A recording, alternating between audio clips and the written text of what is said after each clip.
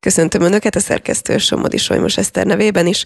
Onodi Molnár Dórát, Dórát köszöntjük a jelen újságíróját és kollégánkat. Köszönöm a meghívást. És Hazafi Zsolt van itt velem, az Egyenes Beszéd főszerkesztője. Jó napot kívánok! És az egyik talán kiemelt témánk szerintem a héten a köznevelési törvény tervezett átírása, meg hogy egyáltalán mi várható, ami neked szakterületed, úgyhogy arra kérlek, hogy induljunk innen. Te hogy látod? Káosz van, vagy igazából végre elindult valami, mert sokan ezt is mondják, hogy itt volt az ideje, senki nem mondta azt, hogy nem kéne átalakítani ezt az egész rendszert. Te szakértőként hogyan viszonyulsz hát, a kérdéshez? Talán úgy mondanám, hogy régóta kísérem a folyamatokat figyelemmel, a szakértő talán túlzás. Az a helyzet, hogy a kormány semmit nem tanult az elmúlt 12-13 évéből, ugyanis amikor ráeresztették a köznevelés, vagy közoktatás, én inkább a közoktatás szót használnám rendszerére, azt a elképesztő átalakítást, ami az államosítással, azaz fogalmazunk pontosan, drasztikus központosítással járt, azt sem nem konzultálta meg senkivel, úgy eresztették rá a rendszerre, hogy semmilyen előzetes szakmai egyeztetés, nopláne társadalmi vita nem volt, nagyon váratlanul ért sok mindenkit, a szereplőket is, és én nem tudok olyan mértékadó oktatáskutatóról, aki ne emelte volna föl a szavát az ellen a módosítás, illetve az új törvény ellen, amit akkor Hoffman Rózsa jegyzett. Olyannyira így volt ez, hogy ha visszaemlékszünk rá, bár már régen volt, tök régen, Pokorni Zoltán akkor még a Parlament Oktatási Bizottságának vezetőjeként szervezett egy konferenciát a Tudományos Akadémia gyönyörű termébe a köznevelési törvény vitája előtt, amelyben szeretett volna egy ilyen könnyű nyomást helyezni a, a kormányra, hogy azért itt vannak tények, és tényekre alapozva kellene közpolitikát ala- alakítani.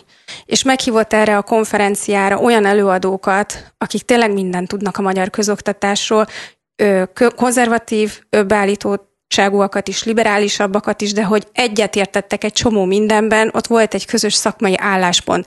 Egy picit ez az álláspont már visszanyúlik a 2000-es évek végére, amikor a Zöld Könyv nevű hát elemzés megszületett, amelyben sokféle tanulmány készült különböző szakértőktől.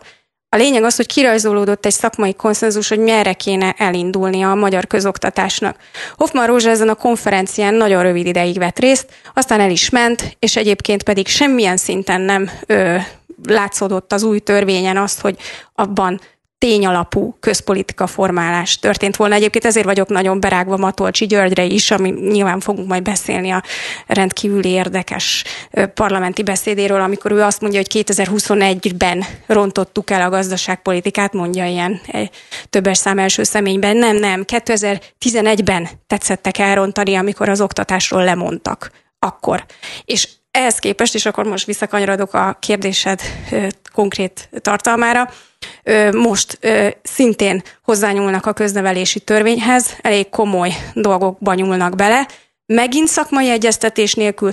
Egyébként ez a törvénymódosító tervezet pontosan mutatja azt a kudarcot, amit az elmúlt években felhalmoztak, és amit a nem áttárgyalt és a voluntarista törvényalkotás miatt a rendszernek cipelnie kellett, és most sem azt csinálják, hogy akkor kinyitják, akkor megvitatják, akkor nézzük el, hogy mit szúrtunk el az elmúlt tíz évben, hogyan nézett ki ez az államosítás, miért ment tőle tönkre a magyar közoktatásnak még a működő része is, mert ez történt az államosítással. Nem ez történik, hanem ott a füstös, homályos minisztériumi szobákban Pintér Sándor rendőrminiszter vezénylete alatt valakik összeállítottak egy szakmai dokumentumot, ami száz oldal körülbelül, és nyolc napot adtak társadalmi egyeztetésre. Köszönjük szépen a gyerekek tudom, nevében ma is. Ma van március 10-én, ugye eddig lehet benyújtani, Igen. de végül is van társadalmi egyeztetés. Tehát nyolc a magyar, nap. A Magyar Orvosi Kamarával foglalkozott törvényhez képest ez egészen gigantikus idő, tehát ugye ott gyakorlatilag egyik napról a másikra intézkedtek. Most azért, ha jól emlékszem, március 10-én, tehát ma jár le tehát még lehet elméletileg. Igen, de erre egyébként például ugye nyilván sokan nálatok is, meg nálunk is megszólaltak hírműsorokban, például a PDS is azt mondja, hogy ez egy akkora anyag, amit áttekinteni, kielemezni, hozzáfűzni nyolc nap alatt az egy rövid idő, és azt is mondják, hogy ez igazából az uniónak megmutatjuk, hogy ha volt társadalmi egyeztetés, nem, de, de Tehát nem valós. És formálisnak érzitek. Hogy az a felelősség, ami a kormányzással jár, hogy nekem a választóim szemébe kell nézni, mert a választóimnak gyerekeik vannak. A választóim gyerekei föl fognak nőni, és ebben az országban szeretnének élni. Ezt látják, Dori, szerinted Szerintem, a választók? Hát Tehát egy választ, egy állampolgár, a... aki, aki egyébként mondjuk erre a jelenlegi kormányzatra szavaz hithűen, szerinted felméri azt, hogy mondjuk jelenleg milyen problémák vannak a közoktatásban, amikor egyébként az ő saját csatornain belül nem is találkozik kritikával ezzel kapcsolatban? Elképzelhető, hogy így nem méri fel, bár nyilván minden nap találkozik a romlás a minőségromlással, azzal, hogy a testnevelés tanár tanítja a fizikát, azzal, hogy lényegében a egyes iskolák már a gyerekmegőrző szintjére süllyedtek le, mert annyira nem tudnak pedagógusokat fogdosni főleg ezek ugye a hátrányos helyzetű iskolák, de egyébként ez már elérte a városi nagyiskolákat is. Nyilván szembesül azzal, hogy, hogy, hogy mi történik az iskolában, illetve mi nem történik az iskolában. Én azt mondom, hogy ennél van egy, tehát a, aki, aki bennül a parlamentben és egy országot vezet, lehetne éppenséggel egy magasztosabb cél is előtte, hogy például ennek az országnak jót csináljon, hogy mondjuk felvirágoztassa, hogy mondjuk hosszú távú célokat tűz ki. Egyébként a saját hatalma megtartása szempontjából is releváns kérdés az, hogy egy működő gazdaságban tudjon kormányozni. És az, hogy ennyire sok probléma van a magyar gazdaságban, munkaerőhiány, kiszolgáltatottság, ugye ez az akkumulátorgyáros történet pontosan megmutatja a magyar oktatási rendszer kudarcát, hogy nem afelé indultak el 2011-ben, hogy a tudás alapú gazdaságot alapozzák meg, hanem ez az összeszerelő üzem irányába, és ezt hoz, hozzuk is, tehát jönnek be az összeszerelő üzemek, csak éppen nem tudjuk ellátni munkaerővel, tehát hozni kell külföldről a munkaerőt. Kettő pedig ezek a munkák lesznek azok, amik nagyon rövid időn belül robotizálva lesznek. Tehát most átmenetileg lehet, hogy egy-egy település örül neki, hogy ott lesz egy akkumulátorgyár, és most tegyük zárójelbe a, a zöld kérdést, meg az, az, annak, annak az iszonyú energia igényét, ami egy ilyen gyár működtetésével jár. Tehát most ettől eltekintve, hogy milyen iszonyú károkat okoz, mondjuk az alternatív GDP számítások számításba veszik azt, hogy milyen környezetromboló hatása van egy ilyen gyárnak, de most tekintsünk el ettől. Rövid idő lesz az a kis öröm, ameddig itt van egy ilyen gyár, mert hogy nem lesznek ezek a munkák, teljesen átalakul a munkaerőpiac. És nem ebben gondolkodnak, hogy egyébként hosszú távon hogyan, hanem tényleg ez a pillanaturalása nem csak a kommunikációs kormányzásban, hanem a gazdaságpolitikában, az egészségpolitikában, hogy egyetlen egy napot túlélni, aztán majd holnap mi lesz, kit érdekel, és semmilyen jövőbe tekintő, tényleg egy országot építő gondolat nem jelenik meg az oktatásban. Én ezt látom az elmúlt 13 évben. Azért itt ebben a tervezetben, ami az oktatást érinti, elég sok furcsa pont van, hogyha fogalmazhatok így. Egyrészt például ugye vita van erről a közalkalmazotti státusz megszüntetéséről is, amit szerintem nagyon sokan nem értenek, mert hogyha valaki azt mondja, hogy közalkalmazott, akkor az két dolgot jelent szerintem körülbelül a civilek fejében. Az egyik, hogy hát az valami uncsi alulfizetett dolog, és bonyolult rendszer, a másik viszont az, hogy egy tök biztos pont. Valahogy így mégiscsak nagyobb biztonságban vannak a közalkalmazottak, mint mondjuk én vállalkozóként, vagy hogyha feketén dolgozom. Szerintetek az, hogy mondjuk a pedagógusok, legalábbis az mondjuk én a PDS álláspontjától mondom, mert ők szólaltak meg, nekik nem tetszik az, hogy kikerüljenek ebből a tanárok, ez jogos vagy jogtalan, szükséges-e a közalkalmazotti státusz a tanárokra vonatkozóan? Hát én e, úgy látom, hogy arról van szó, hogy el lett szúrva az életpályamodell. Ugye Hoffman Rózsa bevezette az életpályamodellt, amelynek volt egy nagyon lényeges része a pénzügyi rész. Ha azt betartják azokat az ígéreteket, akkor ma nagyon sok tanárnak nagyon jó és tisztes fizetése van, amivel polgári életet életett volna, és szerintem, ha betartják az életpályamodellt, akkor nem idősödik el a pedagógusok korfája, mert nagyon sok fiatalnak érdemes elmennie pedagógusnak. Most ugye az a probléma, hogy egy olyan életpálya rendszer van, hogy a, az, hogy mióta vagy benne az oktatási rendszerben, attól függ a fizetésed, sok minden más mellett. Tehát most, a, ha most meg akarnák emelni a mostani rendszerben a, azoknak a fizetését, akik elkezdik ezt a pályát, tehát a 20-30 évesekét, akkor nagyon meg kéne emelni, mert egy ilyen, ilyen, így ilyen táblázat van, nagyon meg kéne emelni az 50-60 éves pedagógusoknak a bérét, hogy, hogy rendes bért tudjanak adni a fiataloknak, hogy ne halljon ki az a pálya. Viszont ezt sajnálják, ezt nem akarják megadni, és ezért kivennék ezt a rendszert, ami most van, és bevezetnék egy ilyen teljesen más elnevezésű definíciót. Ezzel viszont meg lehetne azt oldani, hogyha valaki 40 éve a pályán van, és kéne adni egy millió forintot, de nem akarják megadni, hanem lehessen az, hogy egy 50 éves tanár, aki mondjuk 20 éve, 30 éve tanít, majdnem ugyanannyit keres, ahhoz képest egy kezdő. Most azért nem mennek el nagyon sokan tanárnak, mert be kell állni a sor végére, és tényleg nevetséges. Tehát olyan fizetések vannak, hogy egy, egy tanár, vagy egy fiatal, az nem akar elmenni. Tehát én kicsit így érzem, hogy az egészben az van, hogy nem, akar, hogy, hogy nem akarják ezt a, ezt a pénzt megadni a tanároknak, mert, mert nagyon sokat, nagyon, hirtelen nagyon sokat kéne adni. Én egy kicsit máshogy látom, én azt érzékelem, hogy van egy koncepciója Orbán Viktornak, és ez a koncepció, ez számomra úgy foglalható össze, hogy ő gazdasági szempontból bizonyos értelemben liberális, nem erkölcsi szempontból, hanem gazdasági szempontból. Ő úgy gondolkodik, hogy, hogy mi levittük a személyi jövedelemadót, adtunk a családoknak nagyon nagy adóvisszatérítést, ezért cserébe egy minimális állami szolgáltatást adunk, egészségügyben, oktatásban is, és ők majd megveszik maguknak. Akinek fontos, az megveszi a gyerekének, megveszi a saját magának a, a, a, a pénzes szolgáltatást, elmegy magán kórházba, megveszi a magántanárt, és e, ez a koncepció. Ez a koncepció szerintem nem mondja el az embereknek, hanem ez, ezt látom. De ennek az oka, ez számomra úgy állt össze, hogy nagyon-nagyon megütötte a Fideszt azt, hogy 2002-ben kikapott. Ők úgy gondolják, a mai napig is úgy érzik, hogy az az űsbűn, amit elkövettek velük szembe, hogy nagyon-nagyon jó kormányoztak 1998 és 2002 között, mondják ők, és ennek ellenére kikaptak. És utána a politikai szocializációjukba nagyon-nagyon mély nyomot hagyott, hogy Megyesi Péter 50%-kal megemelte a, a közoktatásban résztvevő embereknek a bérét, 70 valahány százalékos volt 2002-ben Megyesi Péternek a népszerűségi indexe, két éven belül a saját pártásai lekaszabolták, és megbukott.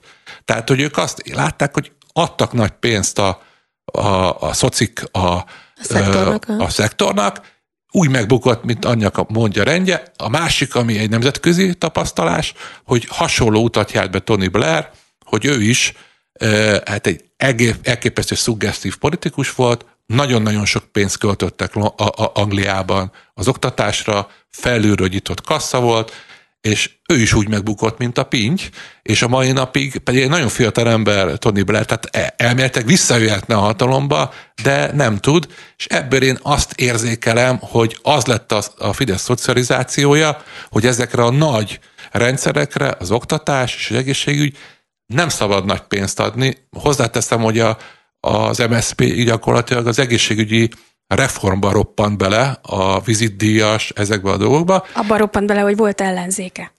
Igen, de én csak azt mondom, hogy így, így látom, tehát ez egy szubjektív, lehet, hogy nincs igaz, de így látom, hogy ebből ők azt a következtetést vonták le, hogy igazából nekünk nem nagyon szabad a két legbonyolultabb, a legtöbb pénzt emésztő, a, legtöbb érdeket sértő rendszer az egészségügy, az oktatáshoz nagyon hozzányúlni, hanem, de hozzányúltak, brutálisan. hanem csak valamelyest, de pénzügyileg, tehát nem nagyon akarnak pénzt költeni rá, hanem mi más, másba látjuk, mert megbuktak 2002-be, az a tanulság született belőle, hogy a hatalmat nem csak megszerezni kell, megtartani az nagyobb feladat, és hogy igazából, ha nagyon sok pénzt költünk az oktatásra, az nem jelenti azt a garanciát, hogy újra választanak bennünket, sokkal többet jelent, hogyha médiára költenek, meg sok minden másra, És ebből az a koncepció született, hogy az elmúlt 12 éve mindig csak éppen, hogy belenyúltak, tehát pénzügyi vonalon, csak annyit adtak, amennyit éppen, hogy muszáj volt,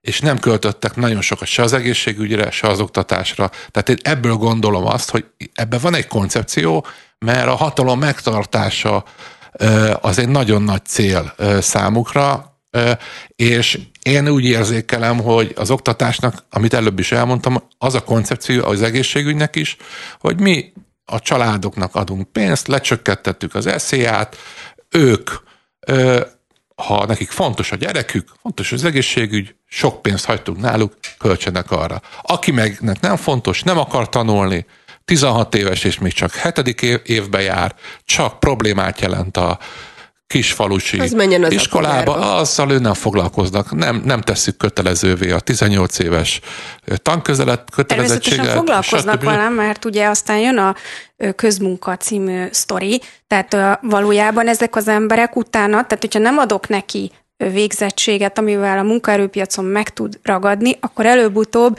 rengeteg problémát fog amit okozni. Te, amit te a... mondasz, az mindig egy, egy, ennek az egésznek egy részeleme, ami valód, valid probléma keletkezik, de ha megnézzük, amit én mondok, hogy abból a felismerésből, hogy nem szabad elveszteni a választást, mert nagyon rosszul esett 2002-ben, hm. hogy elvesztettük, Utána átgondoltak az egészet, 2010 óta negyedik Fidesz kormány van, és azt tudják mondani, hogy működik ez a rendszer, és most ebben a mostani helyzetben is, amikor 50% körül az élelmiszerinfláció, 25% körüli az átlagos infláció, ebben a helyzetben is gyakorlatilag a legutóbbi medián mérés szerint is két és fél millió ember igen, hát kitart azért... mellettük, akkor azt tudom mondani, hogy ez a koncepció, ha ezt a, ezt a meccset arra játszuk, hogy újra választanak, akkor működik. Szerintem ez a koncepció rossz, és nem működik, és csak azért nem tud a választók elé oda kerülni egy csomagként, hogy itt van, erre szavaztatok az elmúlt négy év, vagy az elmúlt négy ciklusban, mert egyszerűen nincs egy olyan ellenzék, amilyen volt 2010 előtt a Fidesz. Gondoljunk csak bele, hogy az egész 2006-os, meg 2008-as időszakban egy fiatal Orbán Viktor állt az ellenzék élén, ő egészen elképesztő módon mobilizálva a saját közösségét, két vesztes választás után tudta egyben tartani a Fideszt és építeni, és ez kétségtelenül fantasztikusan csinálta, és mobilizálta az aktivistákat, és erőt tudott mutatni, és alternatívát tudott mutatni, és mindenki tudta, hogy mit jelent az, hogyha nem a Gyurcsány Ferencre fogunk szavazni 2010-ben. Ezt mindenki tudta. Tudták, hogy mire számíthatnak. A, szerintem ez egy nagyon fontos különbség, hogy most nincs ilyen erő, szétfolyik az egész, az embereknek nincs ö, artikulálva a, a, a probléma, vannak ilyen szembenálló az, tömbök. Hogy, csak mondom, hogy te közpolitikát helyezel teljesen számomra érthetően és jogosan a központba. Én meg azt mondom, hogy ők arra helyezik a hangsúlyt, hogy legyen nagyon erős média hatásuk, hát és az ellenzéket valamilyen tehát ami baj van, azt nem mondjuk el. Forcsa, Ezt 2010 és 14 között ugye megcsinálták a rendszerüket. Tudjuk, hogy ez ö, már csak nyomokban tartalmaz demokratikus elemeket, most nem menjünk bele, hogy hogyan alakították át a választási törvényt, hogyan nyúltak hozzá a média törvényhez, hogyan alakították át a teljes ö, nyilvánosságot, és mennyi pénzt tolnak abba, és hogy egyébként most már második választással kapcsolatban jön ki az ebesztől, hogy nem volt fair, nem volt tisztességes. Ezeket tudjuk. Ö, ugyanakkor én mindig ö, csinálok egy ilyen pandan gondolkodást, hogy mit csinálna Orbán Viktor akkor, hogyha az a párt, amelyik megnyerte a választást, azzal kampányolt, hogy megtartja a rezsicsökkentést, tehát a fő politikai termékét, és egyébként nem fog adókat emelni, nem fog megszorításokat hozni. Ehhez képest éljük át a rendszerváltás óta aztán a leg, egyik legnagyobb inflációs időszakot. Tönkrement a rezsicsökkentés, mint termék, mert ugye mindenki tudja miért, borzasztó drágán ö, vásároljuk az energiát, tehát nem volt igaz az, amit ö, a külügyminiszter állandóan ö, belengedett, hogy jönni fog az olcsó gáz, ezért megéri Putyinnal haverkodni.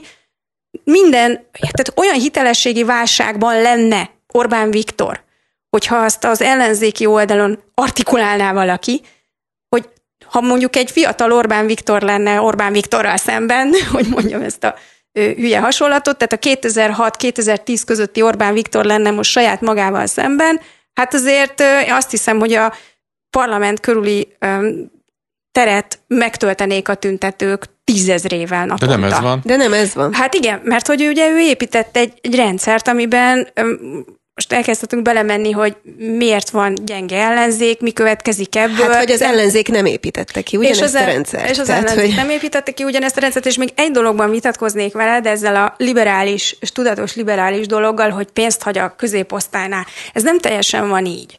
Mert ez tök jó lenne egyébként, hogyha ez, ez úgy kirajzolódna, hogy nem adom meg azokat a közszolgáltatásokat, vagy nagyon rossz minőségben, amikre egyébként az adókat beszedem, de több pénzt hagyok nálad, vásárold meg a piacról. Ez ugye egy nagyon egyszerű, liberális felfogású gazdaságpolitika, de nem ezt látom. Azt látom, hogy Európában a harmadik legnagyobb adóékkel bír Magyarország, mert ugye a személyi jövedelemadó az csak egy dolog borzasztó sok mindent fizetünk. Ilyen-olyan járulékot, mindenfélét beszed tőlünk az állam. Nálunk van a legnagyobb áfa, Egyszerűen nem tudsz egy vállalkozást úgy elindítani, hogy, hogy, hogy ott ne legyen egy millió költséged, ide fizetsz illetéket, oda fizetsz illetéket, egyszerűen megmozdulni nem tudsz. Állandóan az államba ütközöl. Az állam egyáltalán nem versenybarát, nem támogatja az innovációkat, haveri alapon megy az egész, tehát hogy az a, amit mondjuk egy liberális gazdaságpolitikában tényleg kedvezne a középosztálynak, az mind nincs, iszonyú magasok az elvonások, és ehhez képest nem ö, ö, tudsz alternatívákat találni a piacon. Ugyanis az oktatás az egy speciális terület, az egészségügy nem ilyen, ott tényleg, hogyha sok pénzed van, akkor valamennyire... Hát fel elképesztő, Budapesten elképesztő minőségű magánkórház, magára szolgáltató rendszer. Ahol egyébként már szintén jó kis várólisták vannak, mert az orvos hiány az oda is begyűrűzött, szóval nem olyan egyszerű ez a sztori, de az oktatás az egy speciális terület, ugyanis magániskolát te csak akkor tudsz alapítani, ha azt a minisztérium jóvá hagyja.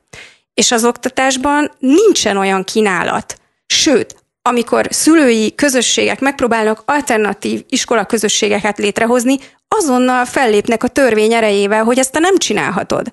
De a, az átlagember azt érzi, hogy, hogy, hogy lehet, hogy nem elégedett az oktatás színvonalával, ami van a közoktatásban, de akkor ö, kibérelek egy magántanárt, egy matematika tanárt, egy angol tanárt, és az fejleszti a gyermekeimet. Ha nem annyira jól sikerül a középiskola, azért az képest, hogy nagyon vicces, hogy a Fidesz volt a leginkább tandi ellenes, a, a tandi rendszernek a kiteljesedése az az ő ideszékben van, de az van, hogy meg tudja venni, hogy nem jut be a gyerek az államilag finanszírozott helyre, akkor hát Fizetek az alapítványnak, neki. és fölveszik? Hát a, nagyon sok, ugye lényegesen, tehát a, mondjuk ha, ha, ha mondjuk államilag finanszírozott jogászképzésbe, pszichológiai képzésbe, vagy valamilyen képzésbe akarsz menni, az nagyon-nagyon magas a bejutási küszöb, a ponthatár, de majd 100 ponttal legalább alacsonyabb, ha fizetősre mész, és akkor megfizetik.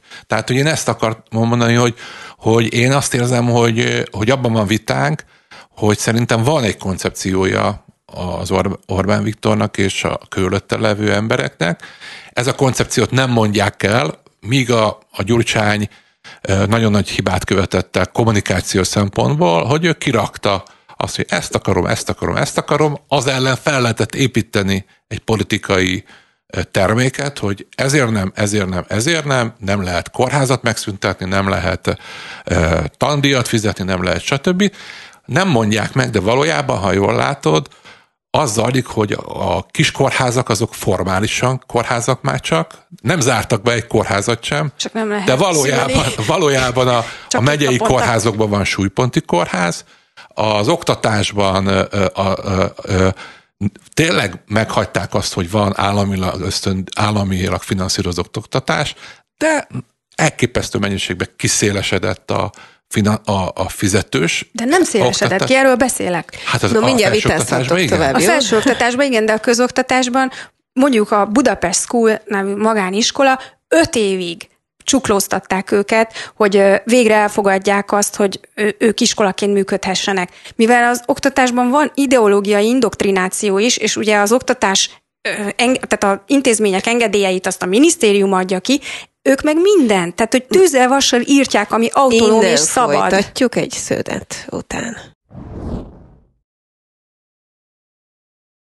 és megadom a szót Ónodi Molnár Dórának, a jelen újságírójának, aki nagyon vehemensen hát próbálta igen, éppen az, az imént elmagyarázni, ez... tudom, hát a szíved kedves meg témája. Meg hogy hát... egyébként próbálom megérteni, hogy mi az a koncepció, ami az Orbánban van, az azon túlmenően, hogy nem ad rá forrást. Minél kevesebbet költeni rá, mert azok, akik sokat költöttek rá, azoknak nem lett garantálva, annyi, hogy nyernek Elhiszem, hogy ez van mögötte, csak és annyira működik. ijesztő nem, hogy egy ilyen fajék egyszerűségű dologgal lehet arról beszélni, hogy hát, hogy mi, miért épült le az oktatás. Biztos, hogy, te, biztos vagyok benne, hogy akik itt ültök, legalábbis nem, nem akarok előtesni. Nem, de ebben valószínűleg igazad van, hogy nem akar, nem, nem akar neki menni, de mégis neki megy. Nem szeretetek a focit. Vannak olyan csapatok, amelyek antifocival nyernek óriási bajnokságokat, meg egyszer az Európa bajnokságot a görög válogatott úgy nyerte meg, hogy élvezhetetlen volt, de ezt arra játszák, hogy megnyerték.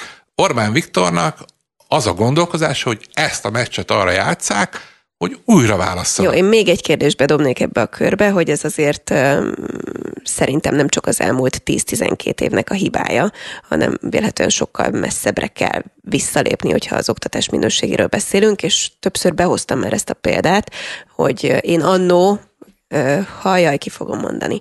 99-ben felvételiztem felsőoktatási intézménybe, és nem vettek fel elsőre az ELTE magyar szakra, ahol nagyon szerettem volna járni, és ilyen evidens volt abban az időszakban, hogy hát mennyi tanítóképzőre, mert oda mindenkit fölvesznek. Tehát már akkor megvolt az, és nem most arról beszélek, hanem 20 évvel ezelőttről, hogy akit sehova nem vesznek föl, és tök hülye, az menjen el tanárnak. Egyetértek veled. Kinyílt egyébként ez a vita a 90-es években, és a 2000-es években nagyon élénk volt. Akkoriban született meg egy McKenzie nevű tanácsadó cégnek egy fantasztikus tanulmánya arról, hogy egyébként miről ismerszik meg a sikeres oktatási rendszer. Ez a tanulmány már akkor részletesen elemezte a sikeres oktatási rendszereket működtető országokban azt, hogy egyébként milyen politikai döntések vezettek ahhoz, hogy ez az oktatás sikeres lett.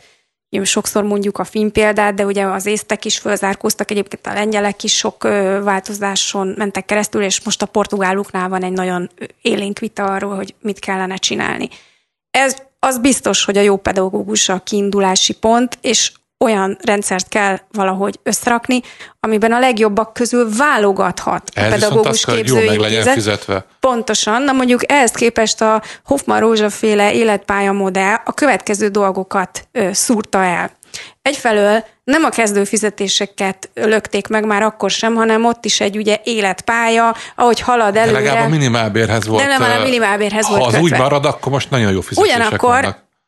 Amiről keveset beszélünk, pedig a pedagógusokat igenis nagyon mozgatja, hogy miért vannak pályán, illetve miért hagyják el a pályát, az a szakmai önállóság, az alkotó értelmiségi munka, a kreativitás, az, hogy egy adott gyerekközösséghez alkalmazkodva ő próbál tanítani, hogy ő egy közös munkát végeznek, ő egy facilitátorként vesz részt az oktatás folyamatában. Na mindezt 2011-ben az új köznevelési törvény kinyírta ezt a típusú munkát, megvonták a szakmai önállóságot a pedagógusoktól, az iskoláktól teljes mértékben megvonták a szakmai autonómiát, egyébként valamennyit hagytak ilyen icike-picikét, amivel lényegében nem tudtak már mit kezdeni, és most azt is megmond, azt a kis picikét is, ami még ott maradt a szakmai önállóságból az iskolákban, a tantestületekben, de most a, a, a Pintér Sándor féle tervezet még azt a maradékot is elvonná. Nekem egyébként teljesen arra hajaz az egésznek a logikája, hogy nem tetszik nektek? Meghosszabbítjuk bicskéig. Tehát, hogy teljesen, még a, a, tehát most már csirájában nincsen mozgás. És ugye, aki szeret tanítani, szereti a gyerekeket, nyilván nem azt szeretné csinálni, hogy napi 8 órában lenyomja a torkán a nemzeti alaptantervben azt a leta, mindenki mondja, hogy letaníthatatlan mennyiség. Teljesen felesleges arról beszélni, hogy itt izé a kimeneti méréseknél azt visszakapjuk a gyerekektől, mert valamennyit vissza fognak böfögni, de értelmetlen az egész. Teljesen másképp kéne tanítani. Ezek a gyerekek úgy nőnek ö, bele a, a kütyük világába, ami, ami átalakítja a gondolkodásukat. Ugye nagyon komoly kutatások vannak arra vonatkozóan, hogy hogyan változik a gyereknek a információ feldolgozó képessége. Hát a vizuális kultúrája Pontosan. is elképesztő Na most ehhez, erre, erre mind semmit nem reagál ez a tervezet, a pedagógus hiányra nem reagál, tehát, hogy beszigorít, fenyeget, az is el fog menni, hát ott, aki még ott, valahogy húzta az igát. Ott azért reagál, hogy most lehetővé teszi, hogy, hogy a belépésnél nagyobb bért adhassanak, mint a jelenlegi rendszerben, mert ugye elveszik ezt a mostani bértáblát, ha jól értem, egy teljesen más meg megfigyelhetik a tanárokat. Azt, azt cáfolták.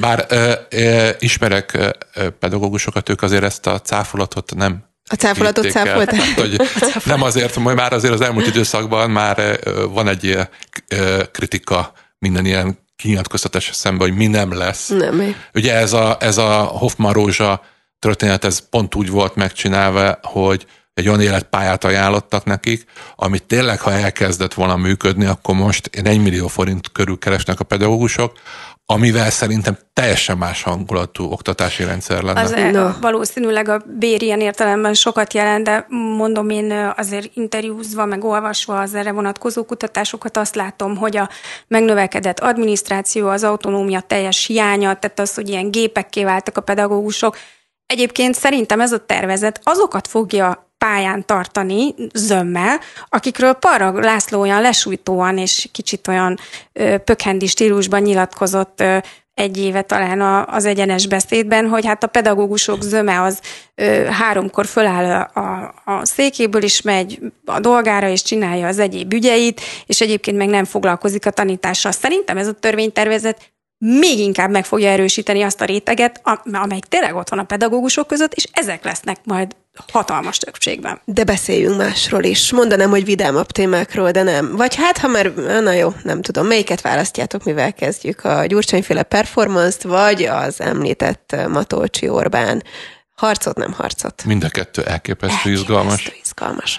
No, akkor kezdjük a, a, az Orbán Matolcsi féle vitával. Szerintetek ez egy valid vita-e, egy feloldható ellentét-e, és egyébként pedig sok vélemény elhangzott, kíváncsi vagyok a tietekre is. Ma is foglalkoztunk vele egyébként az Aktuál című műsorban, hogy lehet-e az mögötte, hogy ez egy Fideszen belüli harc, nyilván ezt, aki mondjuk Deák Dániel, aki ugye kormánypárthoz közel álló politológus, de szépen mondtam, ő például ezt nagyon cáfolta, hogy ilyen természetesen nincsen. Ugyanakkor van olyan hang is, aki azt mondja, hogy Matolcsi lehet, hogy egyébként még akár miniszterelnöki székre is szívesen törne, és most ő megmutatja magát. Szóval mit gondoltok a gazdasági szakmai részen kívül mi ez az egész? Nehéz erre válaszolni, és őszintén szóval én nem tudom a, nem tudom a választ, mert hogy hadakozik bennem két álláspont. Az egyik az az, hogy tényleg soha nincs a Fideszből kiszólás úgy, hogy az nincs megtervezve. Tehát, hogy amikor Novák Katalin szájába van adva a orosz agresszort ekéző kommunikációs panel, és ő tényleg karakteresen kritizálja Putyin birodalmi elképzeléseit, és azt, hogy egy jogtalan és borzalmas, agresszív lépéssel háborút indított. Akkor tudod, hogy ő a jó Akkor tudom, hogy ő a, igen, igen, ez le van neki osztva. Úgyis kevés emberhez jut el fülűeknek, a tömeget meg mossuk Szijjártó nyilatkozataival, tehát tömegagyát, meg Orbán nyilatkozataival. Ö, és azok ugye teljesen más hangulatúak. És most is ezt érzékelem, hogy, vagyis legalábbis az egyik ö, álláspont, amelyik vitatkozik a másikkal bennem, az azt mondja, hogy, hogy, hogy le van ez osztva. Ugyanakkor ö, tényleg feltűnően ö, hát ö, erőteljesen bírálja a, a kormány politikáját, és az is benne Sőt, van a pakliban. Orbán Viktor személyesen. Így van, és az is benne van a pakliban, hogy ugye ki lett adva az ukázt, hogy egy számjegyű inflációt kell produkálni a, az év végére, és ki a felelőse az inflációs számokért? Matolcsi Györgyi egy bankelnök, és itt érezni lehet egy összefeszülést, hogy ez nagy valószínűséggel nem lehet teljesíteni, nem, nem, nem, nem vagyok se közgazdász, nem is értek hozzá, nem is akarok úgy tenni, de hogy valahogy az az állampolgári megérzésem, hogy ez évvégére kivitelezhetetlen és mint hogyha ezt e, ennek menne elébe. A, igen, ezt igen, is kérdeztem hogy... egyébként a szakértőktől, ugye, hogy nem lehet-e az, hogy igazából előre menekül mindenki, és próbálja a másikat bemártani. Hát én két verziót hallottam. Hogy van ez a döglött tehenes történet, amikor húzogatják az egyik ö, telekről át a másik telekre döglött tehenet? Tehát, hogy akkor ezt nem ismertétek, akkor Nem, ez de nekem valamire valahol a... Én tudok egy döglött tehenes mondást, de az másra vonatkozik, hogyha megdöglik a tehenem, dögöljön meg a szomszédé is. Egy ilyen Ja, ma- nem, magyar mentalitás elemzésénél szokott előkerülni. Az a helyzet, hogy a magyar infláció az egy hatalmas döglött tehén ma. Tehát egész Európában nincs ekkora infláció. Se élelmiszerinfláció, sem általános infláció, és az a helyzet, hogy ha jól értem, a kormányzati szereplők azért mutogatnak a Matolcsi Györgyre, Matolcsi György meg, György meg visszamutogat, tehát hogy ezt a döglött tehenet először áttolják szépen a Matolcsi térfejére, hogy te tehetsz róla, hogy ez megdöglött, a Matolcsi meg visszatolja a kormány szintjére, hogy ti tehettek róla a, azzal, hogy 2011-ben, 2021-ben letértetek a helyes útról, utat tévesztettük, nincs koncepciótok, és ti miattatok döglött meg a tején. E- egyik verziót én ezt hallottam. A másik verziót az egy, hangsúlyozom, az egy plegyka, közéletben Jó, vannak szeretjük. izgalmas plegykák, hogy az az elmúlt időszakban Magyarországon nagyon-nagyon sok ö, fiatalember ö, meggazdagodott, és nagyon látványos ö, okkol a társadalmat irritáló Jó órákat viselnek például? Igen, életmódot folytatnak, Elképesztő autóik vannak. és elképesztő, megindult a fantáziátok, Ó. tehát tudjátok, hogy mire akarom kifuttatni lehet, hogy ezt ők a azok, akik meg tudnak venni egy négy és fél millás cipőt, és behoztam egy kis színes hírt is. Nem csak ez, hanem hogy ők azok, akik meg tudnak venni esetleg New Yorkban egy olyan, olyan, olyan eh, loft house lakást, amit a New Yorkban a sztárok tudnak megvenni. Tehát, hogy van egy ilyen plegyka, hogy azért a Matosi Györgynek a fia nagyon-nagyon-nagyon látványos és bizonyos szempontból hivalkodó meggazdagodás útjára lépett. Ez zavar téged? És engem ö, most ebben nem szeretnék állást foglalni, ö, és az, hogy, hogy azért vannak, akik az ellenzéki pártok azért utalgatnak arra, hogy, hogy, hogy, hogy azért kéne eljárást folytatni, hogy ez hogy van, miként van, stb. Ha nagyon élesen ö, ö, beszél Matósi György, és ezek után történik valami nyomozás a fiával szembe, akkor ő el tudja mondani, hogy egy politikai ö, akciónak az áldozata lett. És esetleg... És a kritikákért cserébe Ó. kapta a nyakába. Én, de hozzá, hozzátesz szeretnék tenni, hogy ez egy politikai vélemény. Na jó, a oké, politikai jó, jó, jó, körökben de hallottam, és is- egy plegyka, de az tény, A hogy... pletykáknak Olyan mindig van alapja, ezt ilyen pontosan kremloló, tudjuk. ke- Ilyen tényleg így próbáljuk megfejteni. Ezek, de ez mindig is így volt. Na nem? jó, de az Azért, attól még, tehát hogy mondom, a, szerintem a pletykáknak mindig van alapja, ezt azért így megtanultuk. Nem zörög a harag. Igen, ugye? No, no de Én azért- a szakmában én azért, De hogyha ez így is van, akkor onnantól még az nem lehet nem érvényes egyébként, hogy olyan órába, olyan autóval, olyan helyeken lakik mondjuk valaki. Olyan ki tudja miből. Hú, most nagyon, most, Tehát, hogy most, most én vesztettem a fonalat, ha lehet, el... Értetted, amit mondtam? Tehát, hogy, hogy ha ez így van, Igen. akkor attól még, hogyha mondjuk egyszer véletlenül egy olyan demokráciában élnénk, ahol mondjuk utána néznénk, vagy lennének olyan adóbevallások, vagy bármi, hogy megkérdezik a Matolcsi fiát, hogy te figyelj már, muti már, hogy akkor te miből vetted meg ezt, meg ezt, meg ezt, meg ezt, akkor arra, ha ez így történne, a Matolcsi nem mondhatná azt, hogy csak azért bántják a kisfiamat, mert én beszóltam az Orbánnak. Ebben igazad van, most azt várod tőlem, hogy megfejtsem azt, hogy mi történt valójában. Én csak elmondtam, hogy két verziót hallottam a közéletben, én nem tudom, mi az igaz, és nem merném megmondani, hogy szerintem De mi az igaz. igazságot. Szerintem izgalmas volt így is. Viszont a másik, a hét témája tagadhatatlanul szerintem a lehet-e ölelni, nem lehet ölelni, hogy lehet ölelni, ahogy Vona Gábor fogalmazott az egyenes beszédben, ő nem ölelés szakértő, ez nagyon tetszett, hogy ezt mondta egyébként, amikor arról kérdezték, hogy ugye mit szólt Gyurcsány Ferenc öleléséhez, ugye Rácnéföldi Judit képviselő asszony találte meg az eskü után, és szerintem nincs olyan ma, aki a social médiát használja, és nem jött szembe vele ez a videó, vagy mondjuk ne látta volna azt, hogy Orbán Viktornak milyen emberi felszaladt szemöldökös, elmosolyodott meg reakciója volt erre. Meg, meg, meg igen, tehát hogy szerintem ezt mindenki. a pacsorokban. Hogy, hogy igen, tehát hogy így sokkolt mindenkit, és akkor itt is behoznám a mai interjú alanyomat, hiszen megkérdeztem Deák Dánieltől is ezt, és nagyon finoman fogalmazott egyébként, meg is beszéltük Zsoltal. Meglepő mondom, mintha meg is védte volna valamilyen szinten. Azt mondta, mindjárt megpróbálnám visszakeresni, szó szerint leírtam, hogy igazából ez egy ilyen politikai bravúr volt. Tehát meg is dicsérte ja.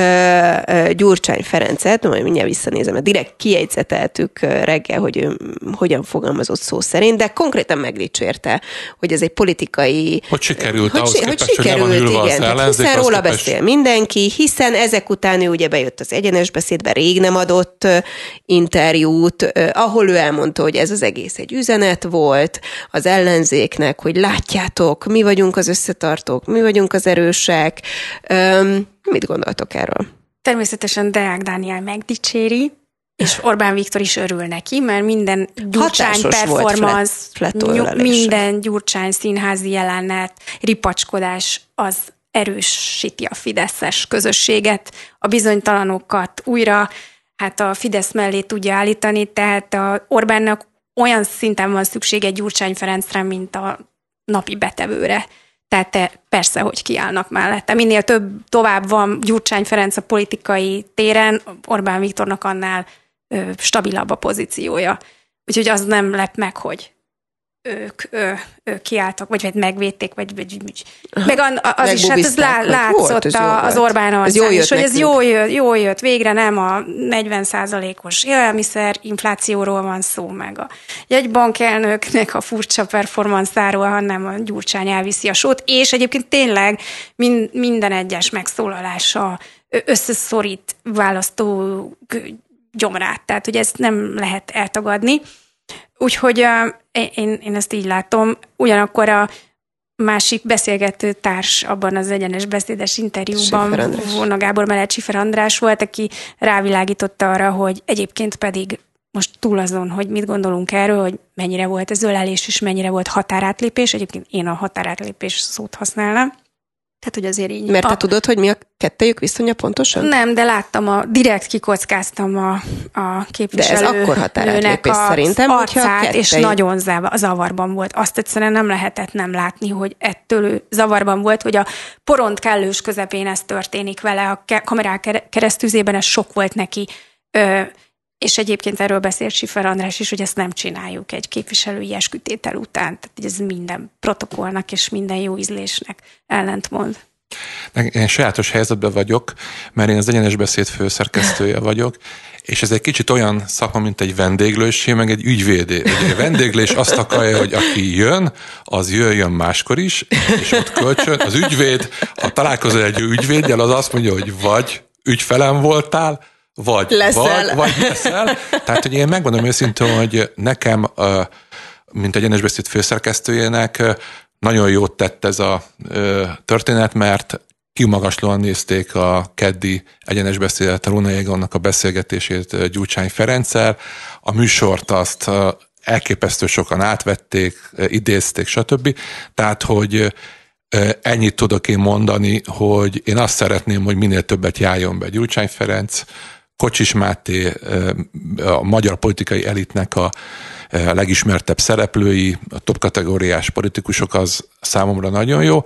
Én annyit tudok elmondani, hogy hogy ha én egy ilyet követtem volna, és ez az én szubjektív véleményem, és ez megtörténik, akkor én hazamegyek, én 27 év vagyok házas, nagyon remek feleséget sikerült szereznem még 27 évvel ezelőtt, én biztos, hogy, hogyha a, egy ilyen után megyek haza, egy, nálunk egy bőrön lett volna. Tehát, hogy... De azt tudod, hogy erről még ilyen típusú mém is született egyébként. Szerintem Igen? pont Hont, Hont András kollégánk osztotta meg, te láttad ezek Igen. szerint. De ugye én nem a vagyok... Donát Anna Brüsszelben, XY Brüsszelben, Dobrev Klára Brüsszelben, és akkor erre ez a fotó, hogy... Én csak ezt tudom mondani, hogy, hogy, hogy a, a Gyurcsány Ferenc adott egy magyarázatot erre, hogy ő ezzel üzenni akart azoknak, akik szerintem méltatlanul támadták a DK-t, Rásznéföldi Juditot, ezt ő így oldotta meg.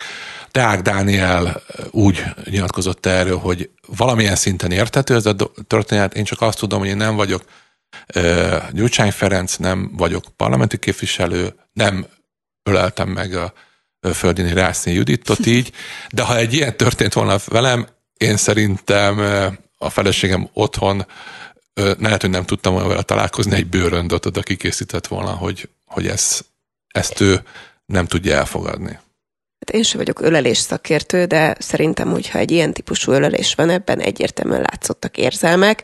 Tehát, hogy nincs is, tehát nem azt mondom, hogy van bármi kettejük között, de ebben ez a, ez a kucózva ölelés. Tehát én így szoktam ölelni barátaimat például. Ez az ilyen hát nagyon, mondta, nagyon ölel. Baráti, tehát ebbe, baráti. ebbe annyira az volt, ami nem való a parlamentben, ebbe szerintem abszolút egyetértünk. Az van, hogyha végig kíséred Gyurcsány Ferencnek a történetét, politikáját, ő egy, ő egy nagyon érdekes politikai attitűdöt hozott be, ő azért, ő azért hozott be színészi vonásokat a, a, a Erre is mondják, Emlékszem, hogy nagyon megrázva volt, amikor egyszer egy képviselő vonatbelesetett szenvedett, akkor ott elsírta magát.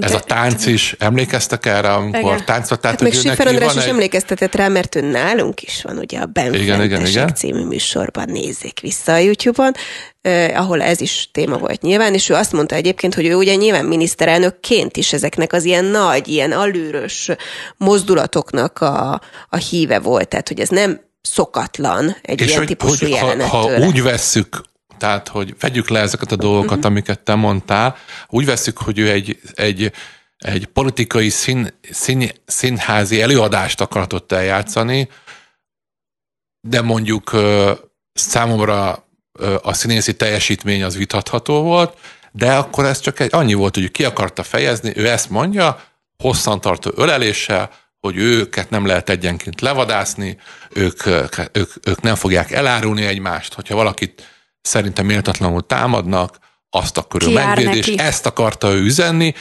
egy, és ez egy színészi, politikai színészi teljesítmény volt. Hozzáteszem, hogy azért nem véletlenül van az, hogy nagyon nagy karriert futnak be színészek a politikába. Gondolok Ronald Reaganre, gondolok Zelenszkire, mind a kettő színész volt, és, és nem, tehát, hogy a mostani politikai tevékenységhez azért kell színészi képesség, fellépés, retorika, stb. stb. Az egy kérdés, hogy kinek eh, milyen színészi ideája van, vagy tetszik-e az a színészi teljesítmény, amit lát.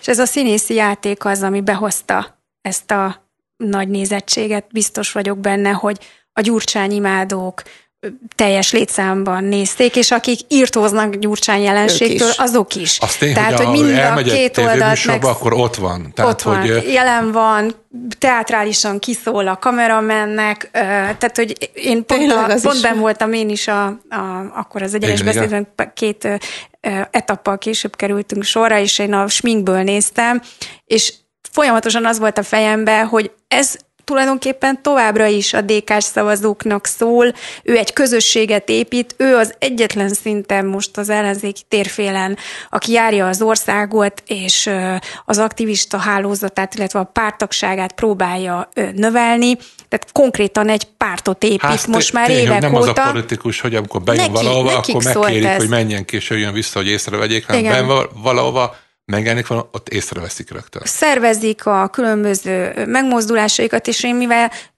riportjaim során azért sokat járok kis településekre is, és ott is találkozom a DK-val. Tehát nem az van már, mint pár évvel ezelőtt, hogy a, a kies magyar vidéken nincs jelen az ellenzék, elkezdett jelen lenni, és az a DK. És ez egy nagyon új jelenség, illetve a mi hazánk, tehát hogy ezt tegyük hozzá, csak most a, ezt a baloldali összefogásos izé konglomerátumról próbáltam felsorolni azt az egy pártot, aki látszik, vagy amely látszik.